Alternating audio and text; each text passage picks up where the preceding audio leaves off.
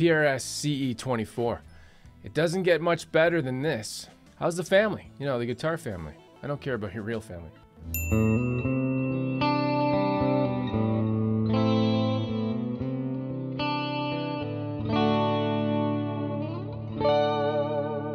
It's just so nice to hold and play. The CE24 is part of the PRS Bolt-On series. What's that? I see comments once in a while that people can't get into PRS, that they can't bond with a PRS guitar. You know, a PRS has no soul. It's wood and plastic and metal and stuff. It's just stuff. I, I just don't care that you don't think it has a soul. That doesn't even mean anything.